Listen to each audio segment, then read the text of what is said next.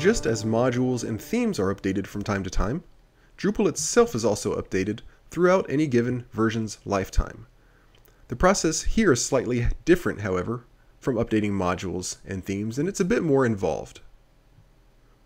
We're going to go through the whole process right here, but know that if you go to your file system in cPanel, we're going to pull up our file manager and go to web root. If you're doing this through FTP, you just simply use that interface instead. If you go to the core directory, scroll down, you'll see an upgrade.txt file, which if you view and scroll down to minor and patch version updates, you have a list of steps that walk you through the same process. But we're going to go through the whole thing here so you can see exactly how it's done and you can follow along. So if your site is telling you that Drupal core needs to be updated, there's no automatic way to do this, unlike with modules and themes. You have to do this the manual way, and it's a little bit different even from updating modules and themes manually. So first, we need to download the new version of Drupal core, which we will get by clicking on this download link we could also just go and get it straight from Drupal.org if we wanted to. And we're going to save that just somewhere on our own computer. Once that's downloaded, let's go back to our file system on our server and go to public underscore HTML. We're going to start deleting things. Now, before we do this, as always with any type of update on a Drupal site, make sure you back up your file system and back up your database and put your site in maintenance mode. You should have already done that. If you're following along with this tutorial, we've already done those three things. If you haven't done those three things and you're following along, make sure you do them all before you go any further, otherwise you risk losing your site. So just make sure you have everything backed up in case you need to restore. Put your site in maintenance mode. And once you've done that, we're going to first delete the core directory, the folder called core, in our site's root directory. This can be a little nerve-wracking if you've never done it before, because that's basically the folder that makes your whole site work, but everything's fine because we're going to be replacing it in just a second. Next, we're going to delete the vendor directory. Once you've done that, make sure you do not touch any of the four remaining directories modules, profiles, sites, and themes. If you have any custom directories of your own, make sure you leave those as well. Then we're going to delete all of the files. However, if you've made any uh, manual configuration changes to .htaccess or robots.txt or composer.json or anything here, make sure you save backups of those files so that you can manually re-implement those changes later. Commonly, if we view .htaccess very quickly, it's not uncommon that you have a RewriteBase directive here, especially if you have a site that is in a subdirectory of a domain. If this is uncommented and you have some subdirectory here for your website, just make sure you save that information so you can go and replace that and put that back in on the new version of .htaccess that you'll have in a minute. So if you have any manual changes on any of these files, just make sure you save those files somewhere where you can go back to those. And then we're going to delete all of these. So right now things look pretty bare once we've done that. We just have these four directories left and we're not going to touch them. We're going to leave them perfectly alone. Once we've done that, we're going to upload the new version of Drupal that we just downloaded. Choose File, Drupal 8.something.tar.gz. Open that. And it might take 15 seconds to a minute to upload.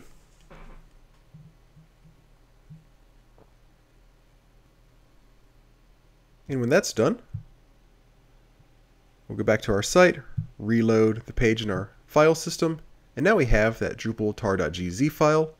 We will extract that right here. Again, if you're using an FTP client, it's best to extract it on your own computer and then upload the Drupal directory.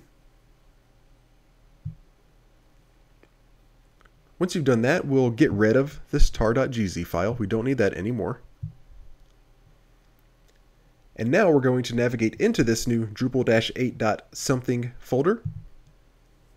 And we're going to replace everything that we just removed. So we'll start with core. We're going to move that up one level so it's in our site root directory. We're putting that straight into public underscore HTML. Again, it's very important that you do not do anything with modules, profiles, sites, or themes. Don't overwrite your existing directories with these stock directories. Otherwise, it's going to cause big problems on your site. You're going to lose a lot of your stuff. We do need to move vendor back up one directory. You could also be copying these as well. It doesn't really make a difference, but we're going to delete all of this in a minute anyway. So we're going to move that into public HTML. Then we're going to put all of these files into public HTML.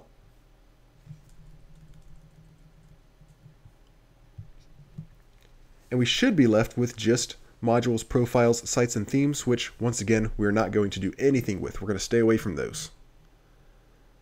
Let's move back up one level, and our site should look pretty much back to normal. At this point, if there were any changes that you had made to your .htaccess or robots.txt files or anything like that, you want to go ahead and manually restore those changes now. And then go ahead and delete this Drupal-8.something folder. We're done with that. We don't want it conflicting with anything in our installation. Now we've done the scary part, and it's time just to go back to our site and run update.php. We do that by simply navigating to our domain slash update.php. And you should get a page that looks like this. If you get a page telling you that you're not allowed to access this page, don't worry, you simply go to your file manager. Again, only do this if your page doesn't look like this right now. If you go to your file manager and go to Sites, Default, then edit your settings.php, you might have to manage your permissions in order to edit this. But if you go here and edit settings.php, if you do a control F search for update underscore free, you'll find this update free access setting. Change that to true in all caps temporarily, and that will allow you to navigate to this page even if you're not logged in as an administrator. And we'll just want to make sure that we undo this change later. But in most cases, you won't have to worry about that, especially if you're logged in as an admin. Make sure one final time that you've backed up absolutely everything and you've put your site into maintenance mode. And once you've done everything we've gone through, you'll click continue and let the site do its work. In fact, in this version to version update, we didn't require any changes to the database. This all just depends on how the new version of whatever we're updating treats the database. If Drupal needs to change the way information is stored, it'll need to update certain things in the database. If not, as was the case here, it'll simply tell you no pending updates, you can move along. So once you're here, let's just go back to the front page. Make sure everything looks normal. Everything looks normal to me.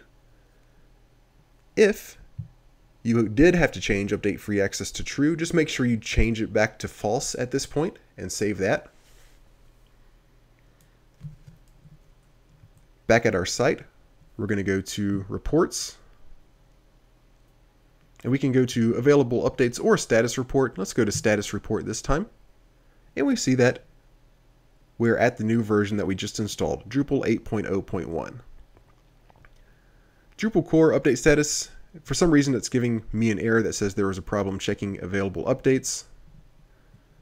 Even though it says it's up to date, this is probably just a quirk with uh, this current version of Drupal.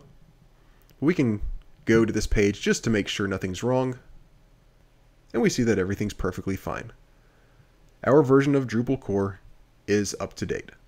The last step now is to go to configuration.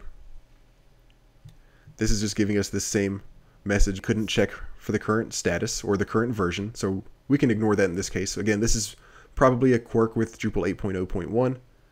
Now we're going to go to development, maintenance mode, and we're going to take our site out of maintenance mode so that people can once again visit our site. Make sure you click Save Configuration. And now when we go back to our homepage, we will no longer have the message telling us that the site's in maintenance mode. Congratulations, you're done. You've successfully updated Drupal core. Drupal is a powerful and complex content management system. Because of that, updating Drupal sites is a little bit more involved than updating sites on other content management systems such as WordPress. Still, it's nothing to be afraid of, although it can be intimidating at first. If you follow the steps we've gone through, and always remember to back up your site before doing so, upgrading Drupal is usually not a big deal.